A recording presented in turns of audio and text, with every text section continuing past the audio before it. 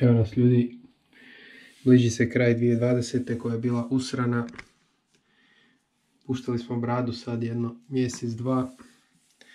Nadam se da će vam iduća godina biti bolja od ove, to je najmanje što možemo tražiti.